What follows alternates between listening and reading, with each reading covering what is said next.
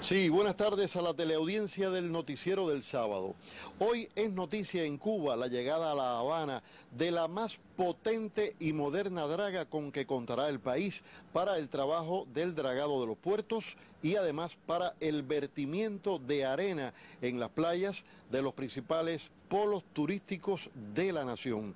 Bien temprano en la mañana, acá en el puerto capitalino, conversamos con el ministro de la Construcción, ingeniero René Mesa Villafaña, quien nos explicó eh, varios detalles técnicos, las características del buque y la importancia, cuánto representa esta moderna draga para la nación. Veamos sus declaraciones. Es una tecnología que, que, capta prácticamente las arenas a profundidades entre 26 y 30 metros y la puede bombear hasta 4 kilómetros de distancia. ¿Qué quiere decir? Que puede trabajar en toda la plataforma insular nuestra, contribuiría en este caso a la, a la recuperación de las playas, tendríamos inclusive una capacidad adicional donde se trabajaría también entonces en los puertos, en la recuperación de los puertos de, del país.